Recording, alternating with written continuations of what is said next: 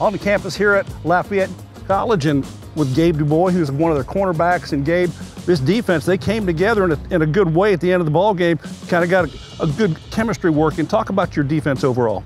Yeah, um, Saturday it was some could say it was a rough game for us, but you know we started off strong uh, with a pick from Sekou. Uh, it was a big play, and uh, we ended it strong uh, with my pick, ending the drive and ending the game. Um, we're looking to put it all together, putting the whole game together, but it was good getting out of there with a win and knowing that our, our team has some grit. Yeah, that's the grit. That's the chemistry that the team you know, they need to have as, as, this is ongoing. What does that mean to a football team to kind of win a really tough game on the road and come home victorious?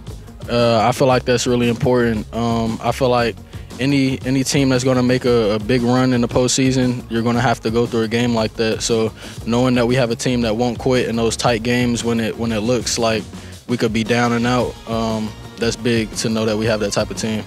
What about yourself back there in the, in the defensive back room? How, how do you feel your role fills in with, with your teammates and how you try to lift those guys up?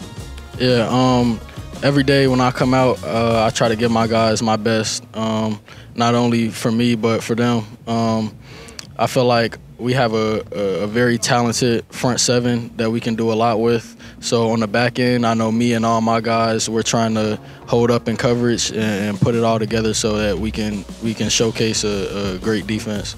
Talk about Coach Troxell and really kind of the culture that he's put here, put in place here. Championship a year ago, setting the setting the, the thing in motion with a big win.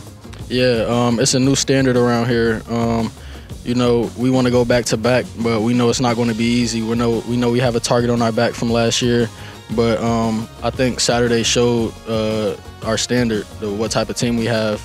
You know, not every team is gonna is gonna come out of there with a win. Congratulations on the great start and good luck this week. Thank you.